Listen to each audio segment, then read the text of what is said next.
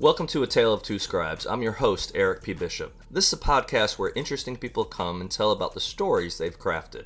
As for myself, I'm an author. I've created novels, short stories, novellas, and even poetry. If you'd like to find out more about what I've done, please go to my website, ericpbishop.com. Thanks and enjoy the journey. Welcome back to another episode of A Tale of Two Scribes. Today, I'm pleased to bring on the podcast Dave Buzan. Hey, Dave, how are you? Hi, Eric. How are you? I'm doing well. Um, so, yeah, absolutely glad to have you. Um, want to talk with you today about your book, In the Lair of Legends. But before we get to that, which is very important, that's what we're going to discuss. And I, the book's back here. So I printed off a sheet here, but I want to read a couple things, and this comes from your acknowledgments. Um, okay. Like we talked a little bit about off air. Um, to me, the acknowledgments acknowledgments are a really big deal in a book. It's actually the first thing when I get someone's book, I always flip to the back to the acknowledgments. Um, okay. Sometimes they're in the front of the books, but to me, I, I like to see who they're going to thank. I like to see the tone, and I, in a way, to me, and it's a very personal thing, but it sets the tone for the book, I believe. Wow. So, a couple things that I really that stood out to me um, when you're talking about uh, Lieutenant Winterhawk. You said he was right. Hope is the long road to travel. My sincere wish is that knowing the struggles it took for me to reach this point might bring encouragement to others who find themselves stuck in the creative trenches. I hope that it might bolster the spirits of those who have worked so hard for years and feel that there's nothing at all to show for it. I implore you to not give up. Keep going. If you get knocked down, climb back onto your feet again. Investigate other creative outlets. Feed that part of yourself before it starves. Hope is a superpower. Never take off that cape. So, um, golf clap. Thank you. Loved it. I read that before I read the book. And to me, again, that set the tone for it. And I said, okay, I'm going to dive into this book and I'm going to be inspired. And I knew I'd be inspired simply because you started the process or ended the process whenever you wrote your acknowledgments. But the important part of the acknowledgments is encouraging other people. So, why was that important to you to include what we just read or what I just read? On the creative process, there's as many dead ends as there are trails to take. And it's difficult over the years as the rejections pile up or as the disappointments pile up mm-hmm. to find that motivation to keep going. Yeah. And uh, it's important because I've seen so many people stop and never start again. Um, and I that just was important for me to end because I know a lot of people would be reading this particular book, knowing my own journey, how long it took. And I just wanted them to have that sense of, you know, pride and courage, um, inspiration that if I could do it, you can do it. Mm-hmm. No matter what the endeavor is, you know, uh, yeah. just keep going. Yeah, um, absolutely. Yeah, that's why I ended the acknowledgments that way, because that that's what kept me going. That inner inner belief. Well said. Well said. And I, I think the beauty I, I've talked about this with some other folks is the beauty of something like writing, what you've done, is there's really no age limit there's no really there's no starting point. You get people that publish books young people do sometimes nowadays especially with the technology we have it's a lot easier. But even you know 100 years ago uh, children had that that had the ability to write and read had that option to tell their stories and probably more so they would write stories out than even our youth do now because they didn't have these crazy things that are probably destroying all of our lives in some ways.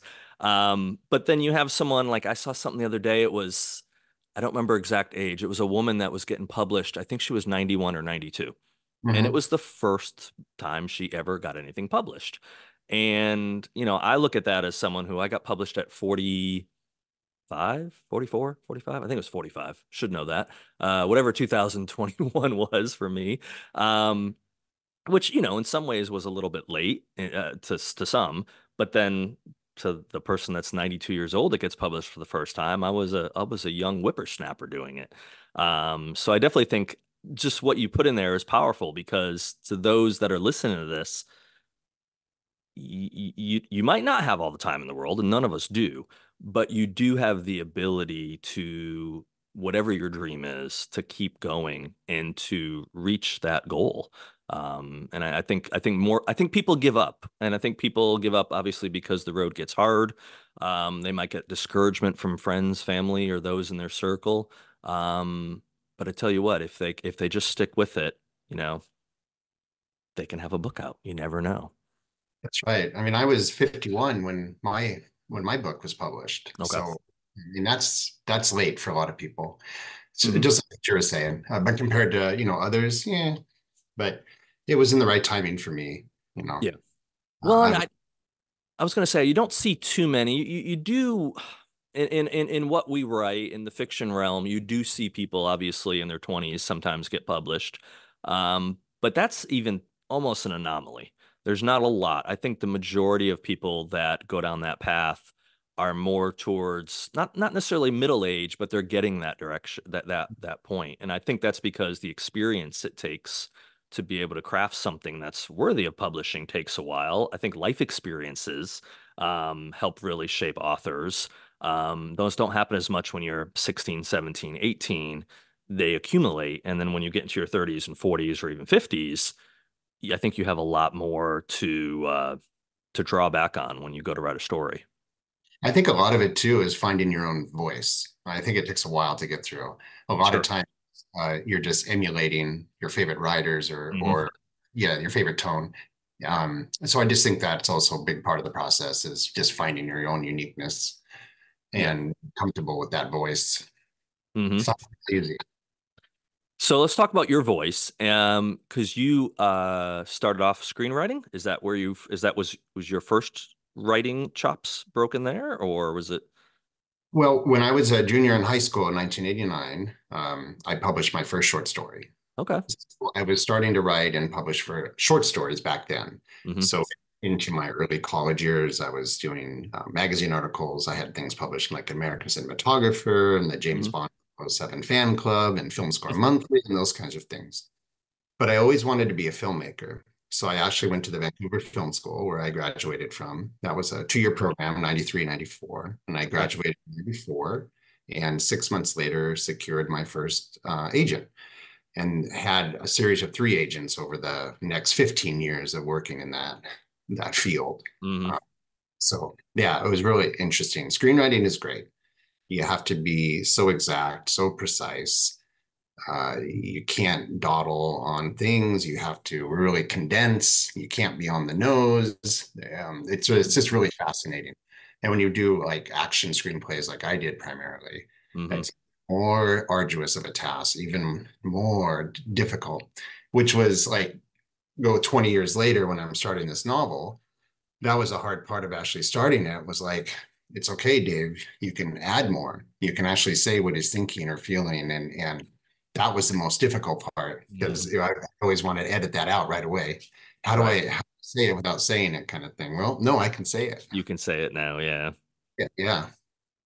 But screenwriting was uh was fascinating. Um, I had some options. Um, we had a lot of close calls. It Mhm. just kept kept me going. Mhm. We had a lot of heartache, a lot of, a lot of heartache. I had one famous time where my agent um, called me to say, "Pick out your beach house. We're there." Oh no. Yeah, I mean, and it didn't work out, right?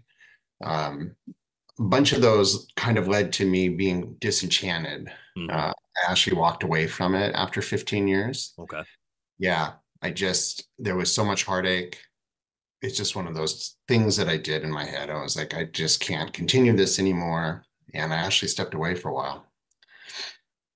So how does that? So maybe for people that don't, because I I know a little bit about it just through fellow authors that have um either either done screenwriting as well or they've dabbled in trying to get their works turned into um something on the Hollywood side or a screen or they've had screenwriters be, take interest in it.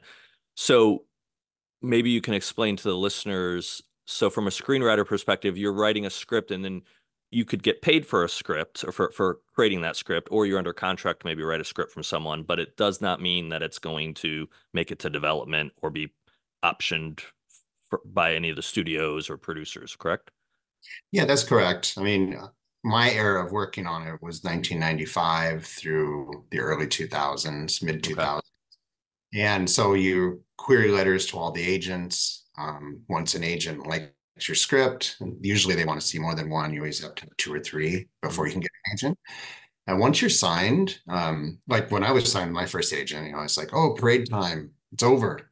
Everything's great, right? But that was when the real battle had started.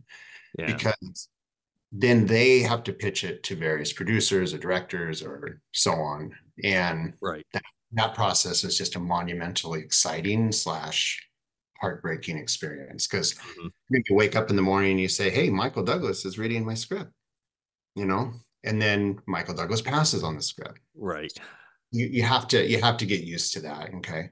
Yeah. One of my, I won't I won't tell you who it is, but a real famous, real famous Hollywood producer that uh, called my agent to say thank you for the toilet paper that was the roughest turn down I ever got. And this was oh, a big okay. But wow. That same week, a really big director um, said about my script that one of the best action scripts he's ever read. And that that was one of my first options came from that.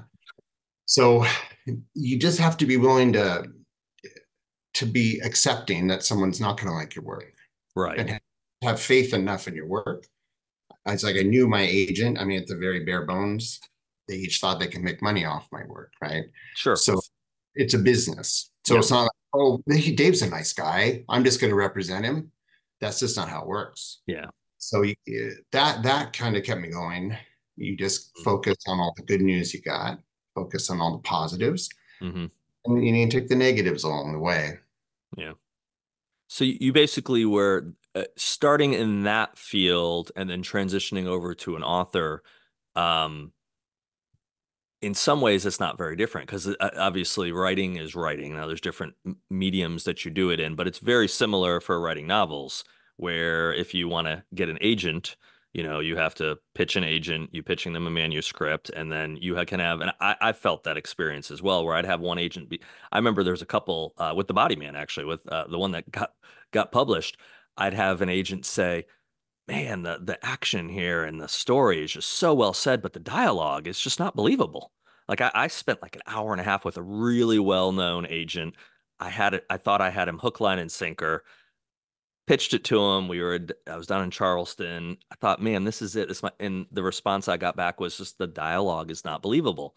And then like within that week, another agent had finally got back to me, and they're like, man, the dialogue's great. I'm just having trouble with the story. And I'm like, okay, that's the complaint. I think that's when the light bulb for at least me went off, and I was just like, this is so subjective. You know, one person might think you just wrote the the greatest piece of literature in the world, and the next person says, "Hey, thanks for the toilet paper." so yeah, it's that's right. Yeah, yeah, crazy. It, it is. It really is. Yeah, it's just it boils down to having the faith in yourself and the belief in yourself, and you just yeah. got to keep when you hear those things you know, and, and let's be real, if every single person that read it told me it was toilet paper, you know, it's tough to find the uh, the fortitude to keep going. Absolutely, so really depended on the honest and and really, to be frank, the praise of you know strangers. Correct. Yeah, boy, this is really good. This is really great. It's like, oh, thank you. So. Yeah. You know that's what I have to focus on. That's what I still focus on because, as you know, not not every review we get is wonderful from readers or critics. We, really? We get bad ones? yeah, yeah. we Even I those. Winterhawk occasionally gets his own bad ones, believe me. well, I tell you what though, and the I don't look at very many of the reviews, especially on Amazon. I'll read a couple here and there. I was told your uh, Marc Cameron gave me some advice right before the Body Man came out, um, and he said, "Don't read your reviews and don't look at your sales numbers." Um, fortunately, the with, the, with going through a publisher, I didn't see the sales numbers very often quarterly, I guess is what I saw them. So I didn't have. Now I'm on the opposite spectrum with doing putting stuff up myself. I can check my sales numbers every 30 seconds if I so choose, um, which is Marc was right. It's not very healthy to be looking at your sales numbers very often. Um, but yeah, I, I stuck with that for the most part of not looking at very many reviews. I've looked at definitely read some.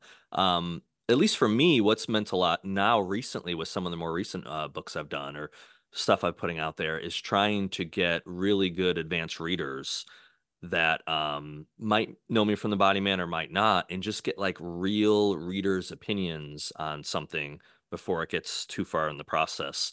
Um, I don't know. That to me is means a lot more than in some ways giving it to someone that's seasoned.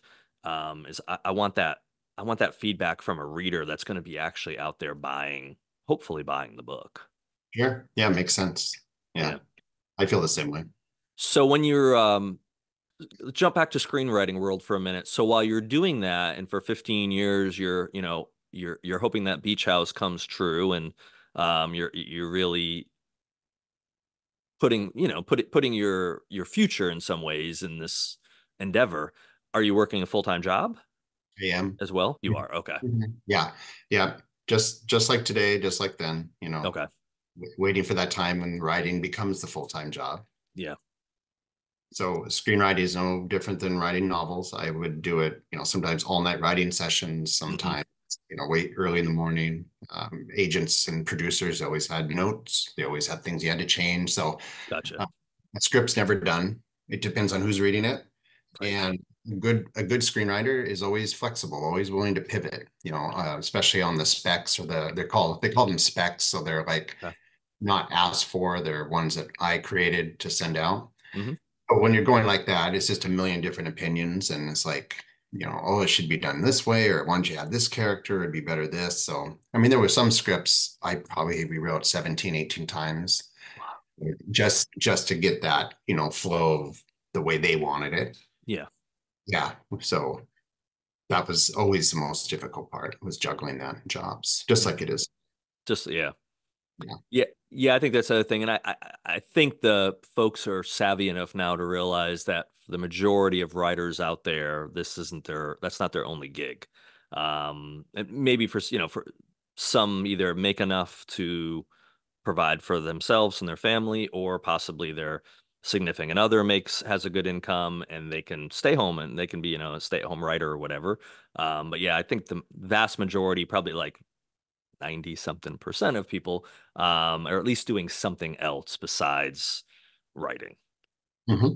sure um, which i there's a positive and negative that I, i've i've wondered myself if i get to the stage where writing can pay the bills how that might change for me mentally. Because right now, in in a way, I don't have to risk very much. Um, I'm going to write no matter what until I don't have the mental fortitude to ever do it again. But I don't need to write to put food on the table.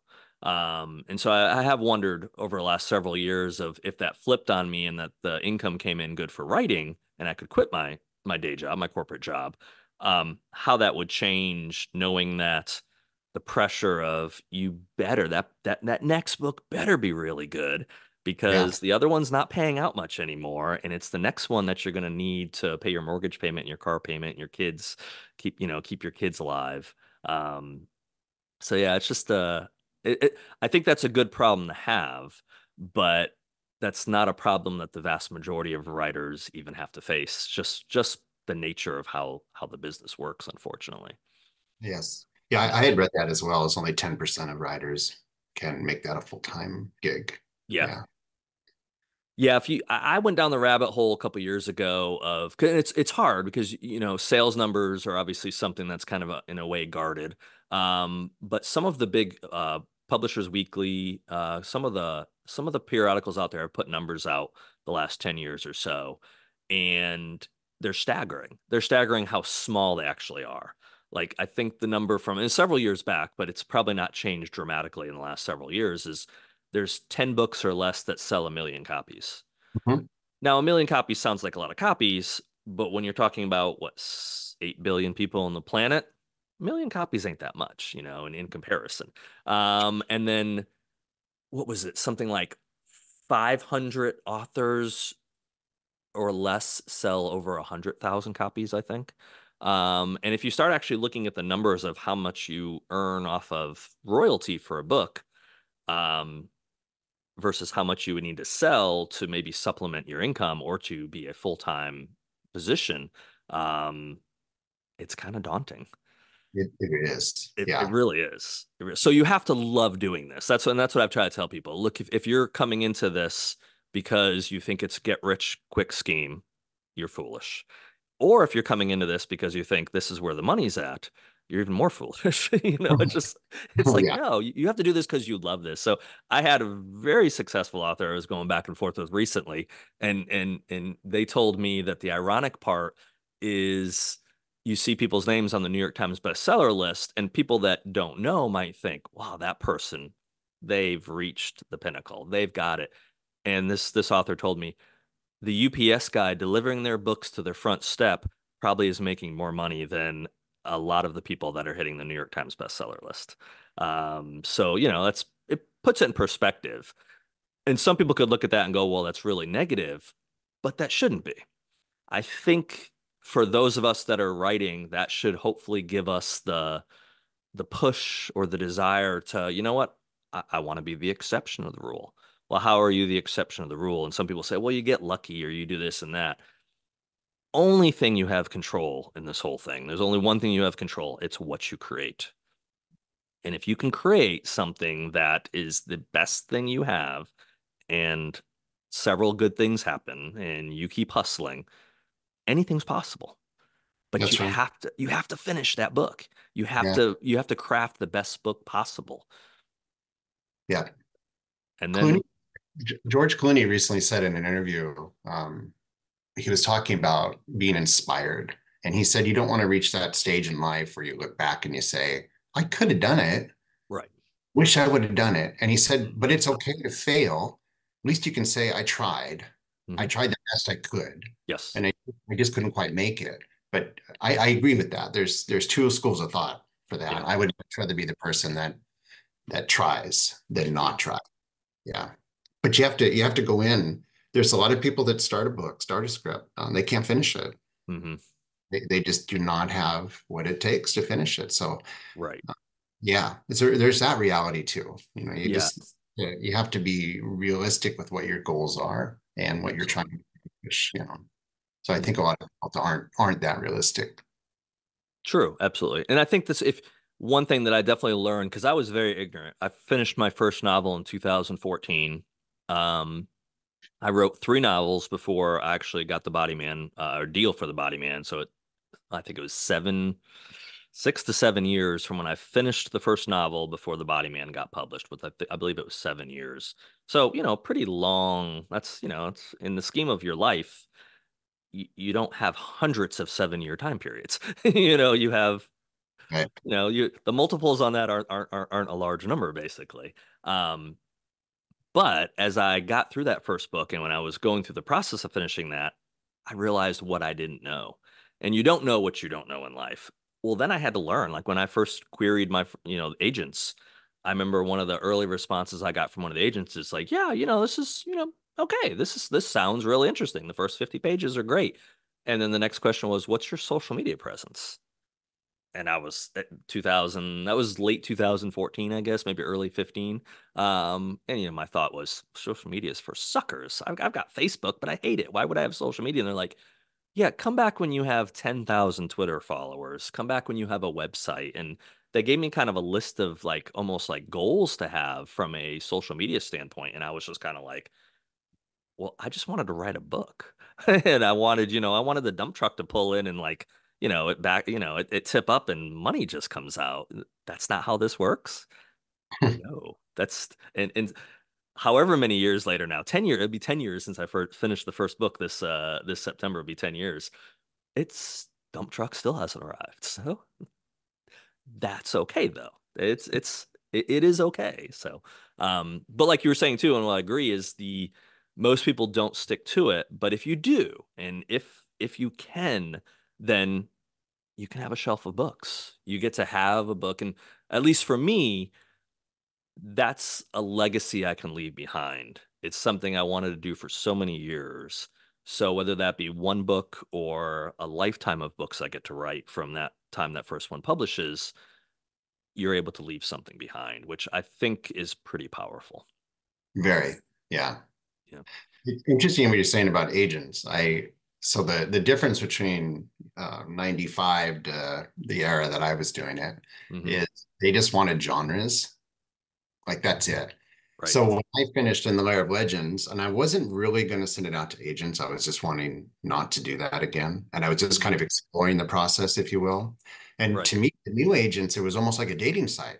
Like they were asking, there was all these things like I'm I'm like walks on the beach and I like this kinds of music. And I was like, who cares?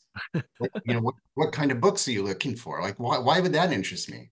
Right. And then and they were, they were the list of what they don't want was gigantic yeah. you know we only want a, a, hero that's like this and only want a hero that looks like this or acts like this and we don't you know i had one actually there was one on there that said if you have judeo-christian values we don't want to in the book we don't want to read it right Yeah. just flat. so Flat out. Yeah i just i just couldn't believe it. I was shocked. I was Right. shocked. It's like how am i going to get this book out into the world if i have to deal with this this? Hundred percent. yeah. So I, I wasn't prepared for that because that that's how much it had changed in between my writing time. Well, again, the the internet world, the the age of technology completely transformed publishing. And and I think I think we're still kind of in the early years of it transforming um more dramatically more uh, ai i think obviously that's something i'm just i don't I'm, I'm pretty ignorant to it to some degree but i'm starting to have to research it more for for novels honestly going forward. Um but the the the rate of how things have changed in the process um is, is pretty dramatic. And it's a double-edged sword. It used to be that you could publish a book and that's all you had to do was write the book now that's part of what you have to do. But you know, whether you're a no-name person or you're someone that is going to make the New York Times bestseller list, you have to be out there promoting the book. You have to be you have to be doing stuff like this. You have to be open to doing podcasts or interviews or print print you know interviews, whatever it might be. Um, very few people get to skip that that step anymore because they want you available. And there's so many avenues out there for people because that's the other thing that's changed too is now you know literally and i've told this to people before and they've kind of laughed but i'm like really like start let, us say on monday this week i start writing myself a, a novella i could write i have a day job but let's say i took the week off i could write a 25 30000 word novella in one week no problem as long as i got an idea in my head i could do that should it be published? That's a different conversation. But could I do it? Yes. By Friday night, I could go on Canva, I could create a cover, and by Saturday morning, I could upload that to Amazon and it could be available for sale by the following Monday morning. Again, should that be published? Absolutely not. Worth less than the toilet paper that you were told about that script. Much yeah. less. But I could then say, "Hey, I published something," and it could be out there, and I could start charging, and some some dummy might buy it. You know, if I if, the cover's not that bad or whatever, or my write up on it's decent. So the the means to get into the publishing world now has almost got no safeguards if you go that route. Flip side is if you do want to get an agent, you want to go with Penguin or one of the big five publishers. Um, the gatekeepers now are so like you just said they're so suspe- specific. You have christian you have judeo-christian values in your book. Agent doesn't want to touch it. Do you have this particular whatever so, in, for the character this specific type of character that's what we want. So it's so specialized now that you know it's it, it it's a quandary i think for authors because i think a lot of people man i just want to write a good story. But you've got to get that story done and then once you get it done man then that's there's so many options but a lot of those options are very limited too.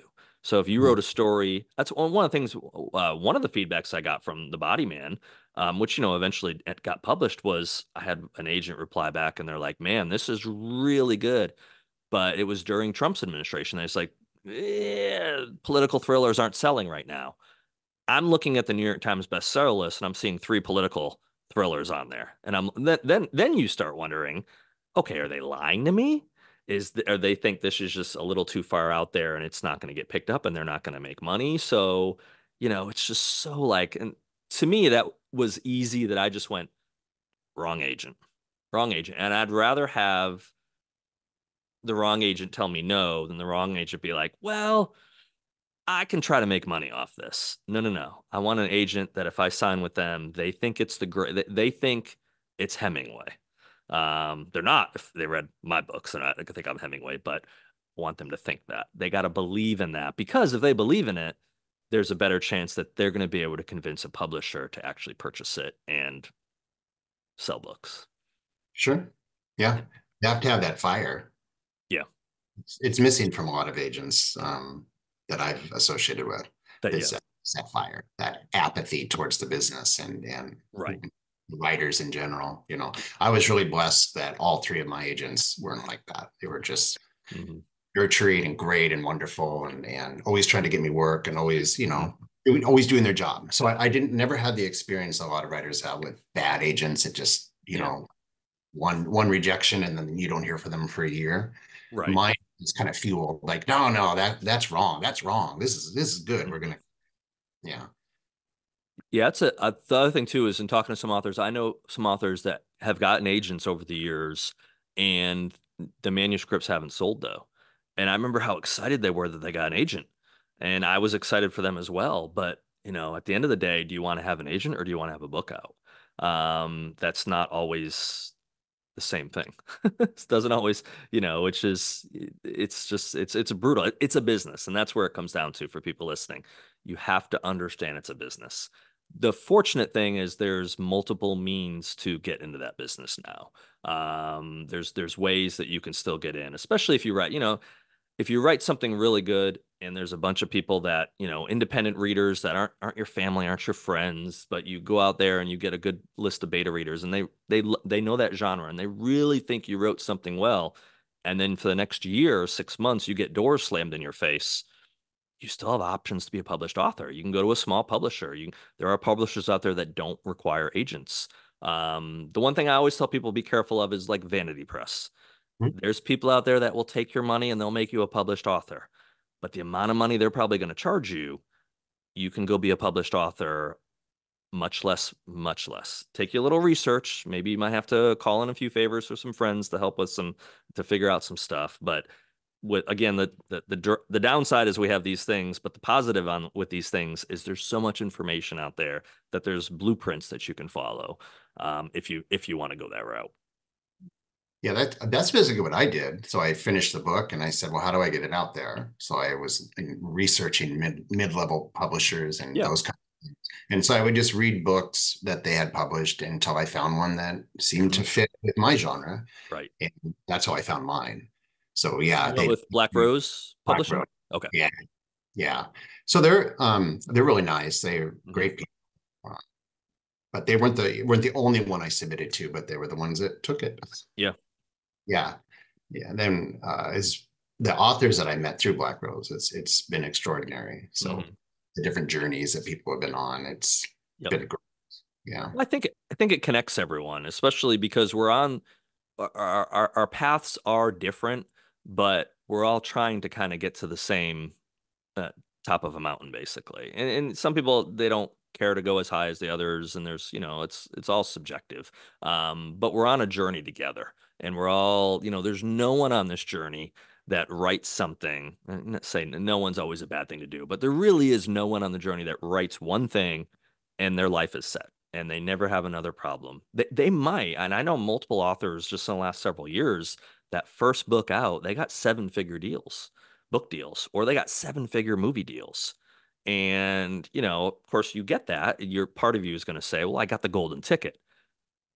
You did. But the downside on that golden ticket is they're going to want you to do a second book. And if that second book doesn't hit as well as that first book, it's a business. They're not going to give you a lifetime of books. You know, you're you're better off, and I've told authors this. You know, you're better off with like a bell curve kind of thing. You you want to rise up. If you start really high, going down's a bad direction in the publishing mm. industry.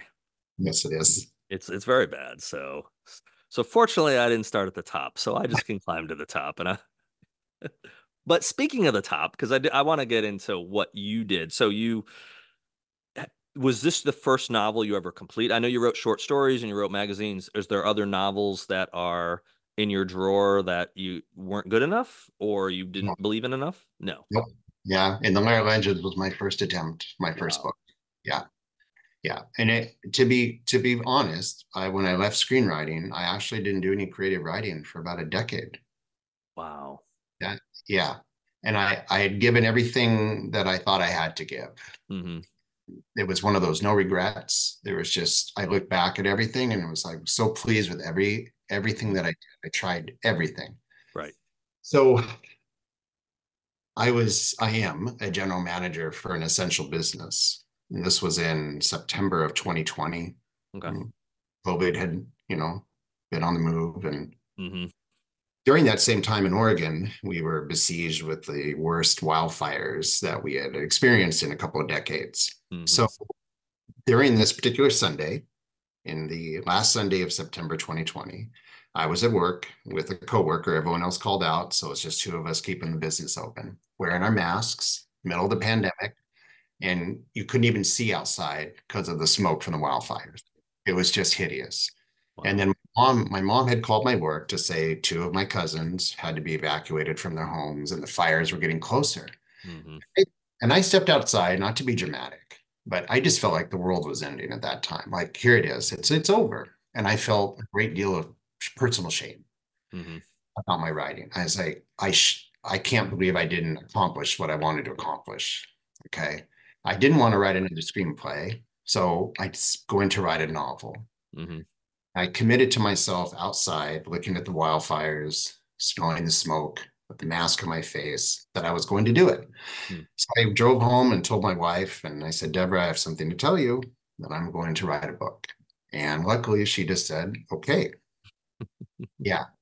And uh, my parents have always been my biggest supporters, always for my writing hmm and in life. But the next day I drove over to the house and I told him what I was going to do. And my dad frankly said, We'll be disappointed in you if you don't do it. Wow. You you have to do this. You have to do it. Yeah. have to do it.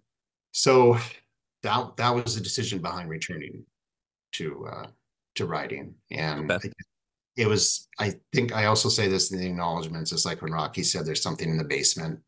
Uh, Mhm. that's just how I felt. There's just something inside, and I had to prove to myself, nobody else, that I could go the distance, that I could do this. Mhm. That's what it was all about for me when I was working on this book. So where did the idea come from? Because it's it's very specific. Obviously, it's something that takes place. It's a, it's a period piece, but just you know a- after the Civil War, and just so many pieces there. That is, was that something that you had an interest in that time period, or is it something that just came out of the the thought process of I want to write something, and you just you know organically landed on what you wrote what you wrote?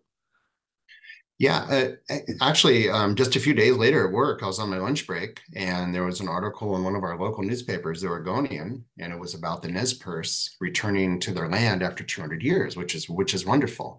Mhm. But in that article, there was a throwaway line, and it said members of the Nez Perce tribe joined a quarter million Native Americans in fighting in the Civil War. Well, I shamefully didn't know that. Hmm. I, I didn't know that piece of history. Mhm. So I, that immediately just stuck in my head. And then I did some side research real quick. And as soon as that information popped up, I said, wow, Hmm. now that's a hero. Mhm. That's a hero. Because the articles that I read right away was not only did they face racism and extreme violence on the battlefield, but sometimes they got it even worse when they got home to their tribes because they were considered traitors and everything Right. else. So that was the genesis of the whole story right Hmm. there. Yeah. So the research just kind of stemmed from there. Okay. And the more research I did, the more it grew because I, I was not at all comfortable with wanting to do anything historical because all my Mhm. scripts, everything was modern day, even, Mhm. even, even some sci-fi. Wow. So it is very new territory for me. That's awesome though. And that shows you and probably though those years of screenwriting, um, the growth that took place, even though you had put it aside for for 10 years, the growth for you as a writer manifested, I believe, in what you then did for your first novel. And I, I, think that's awesome because I would assume I, I have a similar um my idea for where I came from the body man was one specific, you know, two lines basically of something and that just caused my imagination over about a three year three hour time period to like pretty much created the story at least the beginning and end what it ended up being a, a- the middle the middle became, you know, kind of I would just sit myself down at night and I just creatively knew where I needed to go, but I I don't I don't know about you, but I don't like outlines. Um, and, and I know some people write 40,000 word outlines. Kyle Mills is one who was doing the Vince Flynn books for years. Um, he'll write basically uh, almost half of a novel in an outline form. I couldn't do that personally. To me, I'm much more, or at least when I started, I was much more seat of the pants. I'm not as much of a pantser now, but I'm still generally a pantser. Um, but yeah, just getting that that that that simple idea to me is kind of the the excitement for a project. So so you did your research and just the more you dived into that research, the more creativity came out of like because just the, and I don't want to give stuff away to people that haven't read it because you you do need to go out and read it, but um we we have a beast in this story. So how did how did that come about? Because when I first was reading it, I'm like, what is this? Oh my goodness. And then I mean your your descriptiveness is phenomenal. So, you know, when when when someone's in a cave and something is about to happen, you know, it's creepy. You feel like you're in that cave and you don't want that thing to do what's about to happen to that character. So, how did that come about? Well, when you're growing up in Oregon, um, Bigfoot, Sasquatch is like the state animal, to be frank. I mean, and it's gotten to the point now where you go to the store and there's Sasquatch candles and candy and underwear. It doesn't matter what it is. It doesn't matter what store you're at. There's a Sasquatch. Right. Yes. If you look at the original Native American beliefs of it, especially up in Canada and Alaska area, um, mm-hmm. Sasquatch is a fierce protector of the forest. It's scary. Right. And that had not been represented to me because uh, we always think of the, like the Harry and the Hendersons version of the the Sasquatch, family friendly. Yes, I knew I definitely wanted to go that way. Uh, just make gotcha. the apex predator of the forest and just frightening. Mm-hmm. And when I decided on this story, I wanted to do a genre mishmash, so action, adventure, historical, thriller, and then horror. Mm-hmm. And when you write all three, you got to make sure all three are working. Mm-hmm. So for me, I worked really hard to make them scary so I those are probably the most fun I had writing the book mm. with those sequences. Okay, how are we going to make these guys scary again? You know. Well, and that's how I think you did your. You said you, you did action and you did thrillers with screenwriting. That came really shining through in what you did with a period piece of having that action, and that thrilling happening. But whether it be in the woods, in a cave, on a train, in a hot air balloon, a wagon. I mean, you kind of covered you know, without the technology, you covered all the means of action that could take place yeah. back in that time period, basically. Yeah, and then some. and then some. There you go. Yeah. yeah. Yeah, I do. I do enjoy action. There was a few times, you know, I came out of the office with crestfallen face, and I'd say to my wife, "I, I just killed him. He's, I can't. He's not going to survive this. He can't. How does he survive this? Uh, yeah, he's gone. He's done. You know, and I'd be stuck on the cliffhanger for you know maybe three or four days mm-hmm. before. Say, oh yeah, that's how he gets out. You know, and the the fun part, of course, is not cheating the audience, not cheating the reader when there's right. like this. What you just have to make it somewhat believable. You know, mm-hmm. could Indiana Jones in the Temple of Doom? You know, could he be in the mine car and jump it? Maybe. You know, but you get. I want to reach that point with an action hero particularly Winterhawk. And uh, I just want the reader to say, hey, it's Winterhawk. Of course he'll, of course he can do it. Mm-hmm. Yeah. Well done. I, I, I think you did it very, very well. So it was gripping, and I, several people that I've talked to since I read it um, had very similar, very similar reactions. Um, you've done. I've I've got a list of them here. I've got a, a cheat sheet over here of just the awards that it won, the um, the praise that it got, um, must must be very validating of especially for a first book because again normally people have to write several before they kind of find their find their voice i risk really but i think maybe that that screenplay that years of toiling on screenplays i think really helped you even though it's a different genre in a way i think that really helped establish your voice and that you're able to take that first novel and you're able to present it in a way that really connected with the audience so. Yeah well thank you. Certainly a goal when i was starting this is i want to do an action movie 80s action movie on the page mm-hmm. so I wanted like the the James Bond stunts, the Arnold uh, Schwarzenegger quips, the diehard action, like the monster from Predator or Leviathan, and just mm-hmm. kind of put this moral, spiritual character right in the center of this. Uh, so that was the fun part for me was just you know is this going to be cinematic when you're reading it um, mm-hmm. So i'm glad it succeeded that way it did um, and you also i know i saw it at some point there not too many more uh, or several months back is you actually had a uh, ad or a billboard um, pop up there in times square if i recall i did and it was on my birthday october 13th it was on. okay, that's a good birthday great. present right there. Yeah, it was. It was wonderful. Yeah, it played 88 times, and and for that day, uh, Winterhawk was the largest action hero in New York. That's it was pretty cool. Wonderful. Yeah. What what was great about that too was on my on my birthday the year prior, I had gotten a turn down from someone saying, "Good writing, but there's no one ever going to read this. It's just it's not a story or a character anyone's going to want to read." Mm-hmm it's just great. A year later, all of a sudden, it's gotten some awards. People are reading it, and there it is on you know Times Square. Yeah. So it was wonderful. Well, again, it shows you that one person, what they might have to say, doesn't necessarily equate to what the masses are going to say. So, you know, I had I had one tell me, you know, can we make him, um, you know, half, just half Native American, half, you know, like the the intimation was that you know American readers aren't going to read about a Native American hero. It has to be like it's like wow, no, we can't. Because one one thing I'm probably most proud of this character is there's no white savior in it. Mm-hmm. It's it's him and him alone from right. beginning. You know, and I'm not not making disparaging judgments on any race. I'm just saying it was really important to me that this was his story you know he was the hero and nobody's going to help him get out of it mm-hmm. No he had to do it on his own ingenuity and just i to me probably one of my favorite scenes was involving the train obviously. Um, i thought that was just so well so well put together and you know the gold that's there we don't want to give it away for people but the you know where's the gold? What's happening? Um, yeah i think you it's like you know, die, die, die, Hard mixed with you know Back to the Future Three mixed with you know a couple other a uh, couple other period pieces thrown in there. So Last sure. Mohicans even. yeah, no, no, that's good. Yeah, I mean Mohicans is a top five favorite movie of mine, so that's definitely an inspiration.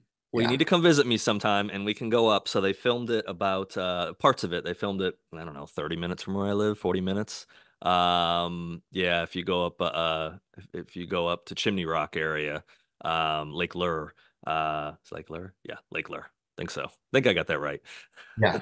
so, uh, but a beautiful, beautiful area. Um, and then of course Daniel Day Lewis, one of those actors that stays in character as he's as he's you know filming it. Uh, Dustin Hoffman, I think, is one as well. Where if he's filming a character, you know, he was Rain Man for the entire time. So they said cut, and you still had to deal with Rain Man, you know, that evening and the next morning or whatever. So yeah, I remember reading um, the making of back in '92. A couple magazines, they would say Daniel Day Lewis would just sleep outside. Uh, he was like there was, you know, he was trying to live it as much as he could, and he's a great actor. He is so good in that. Yeah, my thing about Mohicans is Wes Studi should have won an Oscar as Magua. He wasn't even nominated. I, I'll forever be upset about that. Yeah, I can understand. He is so um, good. So where do you go from here? What's what's the, you, you've you, you've you, you've got the goal. You you during the during the fires you went outside you realized i have to do this. So what do you have to do next? Or what what is being worked on now? Well the uh as the, as you know in the book it's really a standalone adventure. Mm-hmm. and what i wanted to do with it is almost like a reverse uh, origin story. So the the winterhawk that we know from the epilogue is not the Winterhawk that we see throughout the book. So it's almost like he had to start a certain way to end a certain way. So I was really happy with his arc and I didn't want to touch it. So I was going to move on to a standalone and just do that. At a couple of my first signing events, um, there were so many people that came up to me to say, "Oh, we we can't wait for the sequel. This is going to be serious, right?" And of course, my publisher had reached out to say we would really like it if you know you would do the sequel first and then a standalone. Right. Um, so that's what I'm working on now is okay. the sequel. Um, it takes place 30 years later. Uh, Winterhawk's uh, daughter is the the new mm-hmm. hero, and it's her her adventure, her story. Wow. Yeah, still have the monsters. It's still historical. Um, it's just a different, slightly different time period, different bad guys, slightly different hero. yeah. So that'll be out in April of 2025. Okay. Yeah. April 17th to be exact. But so you got the date. Okay. Awesome. So how is it? So what's been the feeling, you know, like eh, we just talked about briefly, but so getting that, you know, kind of got that monkey off your back in a way that you, you wanted to, this is something that you realized you didn't achieve that you wanted to. Um, talk through how that, you know, was there a relief there? Was there just, the excitement and and did what did the excitement transition into? Did you want to then just okay that felt so great i want to do that again or? Yeah i mean uh, so writing the book um i know mileage varies for every author. It took me 17 months mm-hmm. to do the first draft. And then after that after the rewrites it took me about six months for you know black rose to reach out to say let's do it. Yeah so in between that time it was like okay yes i did this I want to see it in print. And then that disappointment and that rejection was coming through again. And was like, here I go again. Here, mm-hmm. here I go again. Right. But I'm going to see it through. Yeah. So that morning, November 17th, day I won't forget, got an email from Black Rose and it's, you know, your contract. And I don't know how many hours I cried. Mm-hmm. I'll be mm. honest. I was so emotional. Yeah. Absolutely emotional.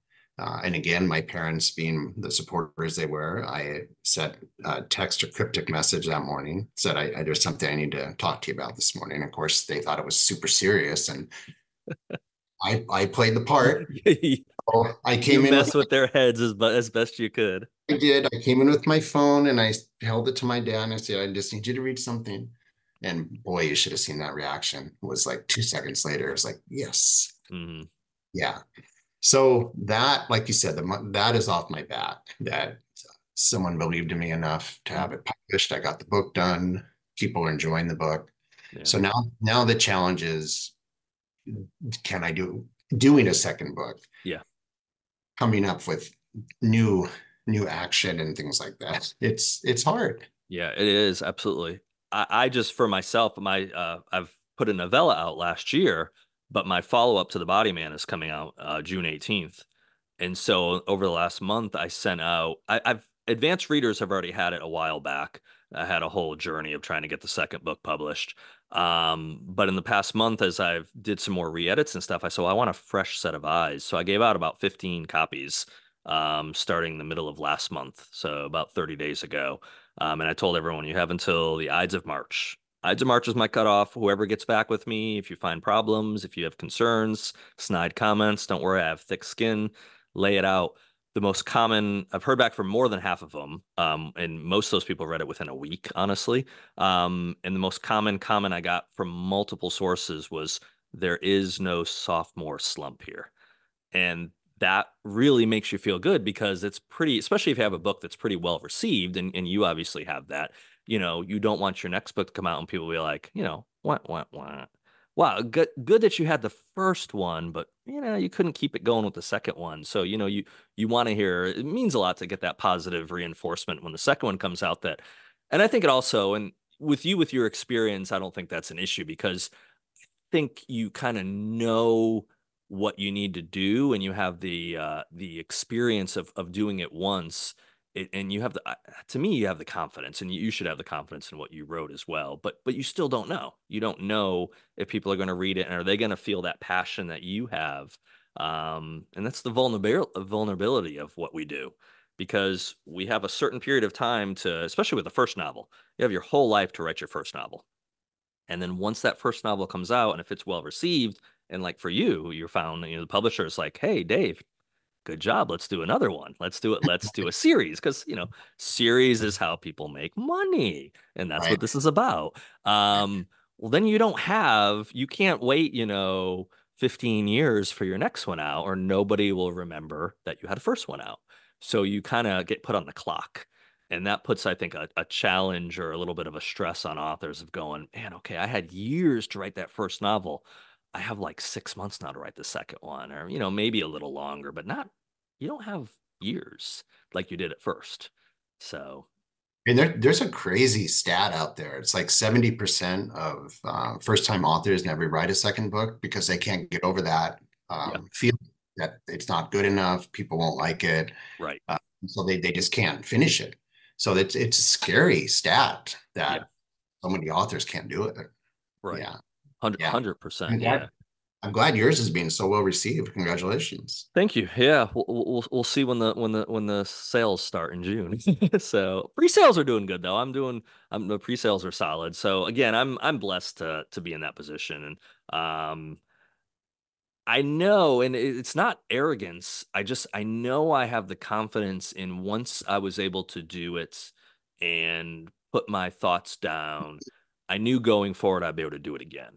Um, again, at some point, maybe I hit the maybe I do hit a wall where I'm like, I just don't. But I've also done since since the Body Man came out, I've had multiple other books I've either finished or started.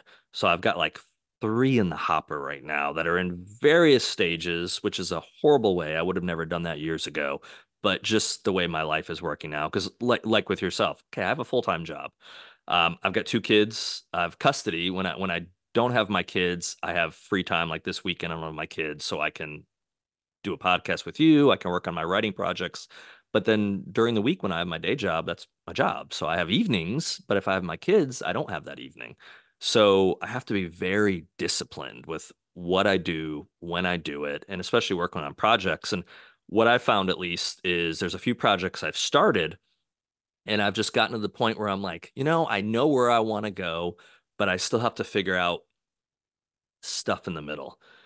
And until I figure out that stuff, I'm just going to put it aside. Now, six, seven years ago, if I had done that, I either A, wouldn't have ever done it, picked it back up, or B, I probably would have lost confidence that I could pick it back up. Now it's not the case. Now I've been able to pick up some of those projects every several months and either make notes or write chapters and then put it back aside and jump to another project. Um, at the end, I'll find out if that was beneficial or not when I have a finished manuscript. I'm like, what the heck did I do? Um, but the one thing that I've tried to encourage people is I've been doing podcasts and doing stuff for years is that, you know what? You can't fix something you don't write. So finish a first draft and then you can go fix your boo-boos. You can have people tear it apart and say, man, you this storyline's not completed or you didn't do this part. But if you don't get it to a spot where you have a draft for yourself or others to look at, then like you mentioned, and which is very true, most people start something and never never finish it. So, like your acknowledgments have in there, you know, which I think, you know, I implore you to not give up. And that's same thing. I've been telling people never quit, which I got from another author years ago. Just don't quit. If it's something you believe in, then it must be important, even if it's only important to you. And at the end of the day, if it's important to you, then do it for yourself. Do it for mm-hmm. the sense of accomplishment that you're going to do. And you don't know what's going to happen. Doing that might open up a door for you. George Clooney might call Dave at some point and say, okay. Dave, I like what you have here. Such and such handed me this book and we want to turn it into a screenplay. And Dave can be like, hey, I know how to do that. That's another question I did have for you is with your screenplay experience, do you have any thought processes on making this into a screenplay or have you done that? I have not done that. Okay. Um, but I definitely could do it. Yes. Yeah, but no, I haven't. I haven't thought that way at all. Okay. There's certainly some aspects of the book when I was writing it. I was like, I was. I'm glad I don't have to adapt this one. I'd have to really pause and do it. But you know, back to what you're saying about writing on multiple things, I totally agree with that. And when people talk to me about writer's block, I think the worst thing you can do is stop writing. Mm-hmm. The best thing you can do is just okay, put a pause and move on, move on to something else. It still keeps you writing, and it still keeps you moving forward. I I do that all the time. Yeah. I, I just think that's the best thing to do. 100%. But if if you stop, you just you may stop, stop, stop. Right. So, yeah. Just, well, you might okay. get compl- you might get complacent. You might be like, you know what? It's really hard to write, so it's easier to turn on Netflix. And for anyone that gets to that point, turn Netflix off. Turn it off. Stop paying yeah. it. Cancel your subscription. If you're supposed to be a writer, then write. Now, if you're writing and you want to tweet, you want you want to cheat a little bit now and then and watch, you know, the new Formula One F series or you know a bunch of other things. Yeah, have a treat. Watch a little something before you go to bed. Um, but yeah, no. Currently, so let's see. What do I got? So breach of trust, I'm starting to get the feedback. So I've got uh, the next couple weeks, I'll start going through everyone's feedback, and it's been very kind so far. I have a couple couple people that are like, this isn't complete, or not even. I don't even have any complete. This is a little confusing. Can you clarify this part or that part? And they're very small little tweaks. So I'll work on that. Um, I have another book coming out in the fall that or late fall, early winter that has to do with the novella I came out last year. So a different set of characters. Um, I'm writing a short story. I'm trying to write a song, which is another project I can't talk about. So it's like, yeah, there's like four things in the hopper. And years ago, that probably would have stressed me out. And I probably wouldn't have done any of them because I would have just given in and thought of this is such a daunting task. Now I've compartmentalized those things enough now where it's like, okay, tonight you're working on your short story. Okay, tomorrow you're going back to edits on breach of trust until it's done or whatever. And it kind of, at this point, it motivates me and it pushes me. Um, and I think it helps that I've had success in putting stuff out that I can draw back on that. And so I can tell myself, hey, you know what you're doing. Even if I don't know what I'm doing, I can convince myself I know what I'm doing. And I did. At some point, I have known what I was doing. So I can draw off that. Um, and I think that's one thing that helps us versus that person that's listening to us that hasn't finished a project. It's very easy to fall into that self doubt or just listening to when people talk and they go, man, this is such a daunting process. Trying to get an agent is so hard. Then trying to get a publisher when you're on sub to accept that manuscript is so hard. And that's where people just need to learn and, and know from the get go it is really hard. But you know what? If this is what you're supposed to do, then see it through. And if that door closes, another door can open, but it will not open if you don't do the work. It just won't mm-hmm. happen. That's right. Yeah. yeah. You have to be disciplined and committed yeah. all the time. You know? I see your posts when you're going to the gym. I'm the same way. You know, you, you have to be committed to wake up and go. You got to drive when you don't want to be there. Sweat when you don't want to sweat you know? That's partially because eric got lazy for a few years and put on some extra pounds and now i'm 47 and it's they're just they don't fall off. I don't wow. know why that's not the case. My metabolism is just a it doesn't matter if i starve myself they still don't fall off. I'm like well this sucks and it's like okay go to work. Go to the, go to the gym. Yeah and you always feel better um, when you leave. You always feel that sense of accomplishment that you did it. Like today i feel that with my writing i really wasn't uh, motivated sitting down the computer but i sure felt mm-hmm. better right after the hours were done it's like i did it i got this chapter done i didn't think i could do yeah I've literally driven. So for me, it's about a 16 minute drive to Planet Fitness. I've literally left my house night I didn't have the kids, driv- drove in, driven there, excuse me, um, sat in the parking lot and tried to convince myself, you know, it's late. Just come back tomorrow. And it's happened multiple times. And every time it's happened, I've been like, dude, get your lazy butt in there and go work out. And, you know, I come out 30, 45 minutes, an hour later, and I, I literally have a brief conversation in my head of going, "You feel great. Why did you think of not going? Why why did you almost not go in there?" And then the next time that happens, I go right back to that memory of going, remember last time when you didn't want to go work out? You felt good. You drove here, you just spent money in gas. Lock the car, go inside, put in the work, and maybe you'll maybe you'll shed a pound, fatty. so my motivational works uh, words are working for myself. So that's good. I mean, sometimes you need that drill instructor voice in your head, like yeah. go now, you right. know, or when you're on the treadmill, you're on the stair climber and it's like, oh, turn it down, turn it down. It's like, no, keep going. Keep going. You know? Yeah. And a lot of that that you learn at the gym is you learn as a writer too. It's a sentence at a time, it's a word at a time. And and right. cliche you always read is like uh, you always read about saying, Oh, I got 50 pages done and it's great. Um, but you got to get those 50 pages done. You got to sit down and do the work. And even if it's just a sentence, there's there's some days when I was working on uh, Lair of Legends where I maybe had five minutes in a day, five minutes only. I was working doubles, mm-hmm. mute, you know, but at least it was five minutes. I got something down. Right. Some, yeah, it's it's all about yardage. There's no touchdowns when you're an author. No, you, it's, it's, slow yardage up the field, and you just got to always know that the gym is the same way. Yeah.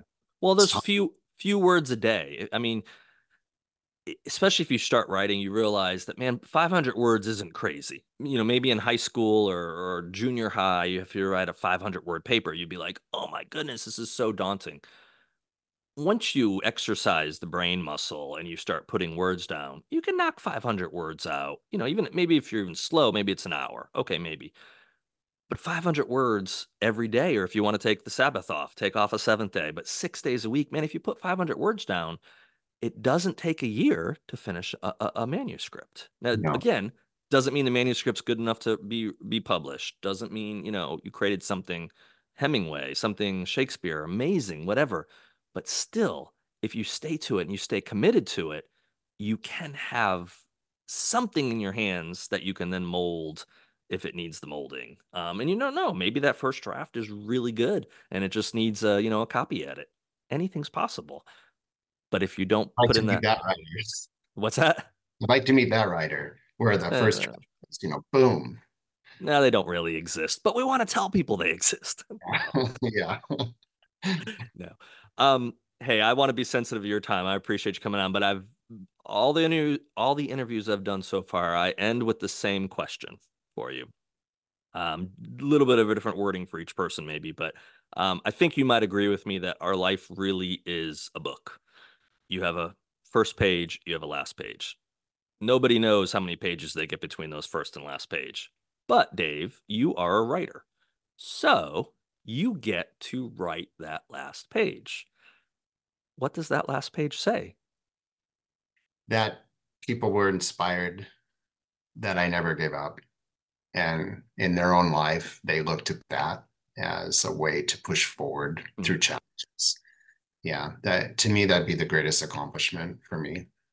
Awesome. Well, I, That'd be this page. I think the way you ended this is the way we can end it. Hope is a superpower. Never take off that cape. Powerful words, my friend. Thank you for writing them. Thank you for having me on, Eric. I appreciate it. So, uh, real quick, because we want to sell you some books. So, where do people go to find you? To find what's the best way to buy the novel? Well, if you go to my website, davidbuzan.com, uh, it's got a link where you can go you know, Barnes and Noble or Amazon or Powell's Books here in Portland, um, a bunch of different places. But to me, that's that's just centralized right there, lets you know where everything is. Awesome. Thanks for coming on, Dave. I appreciate it. Well, thank you. Bye.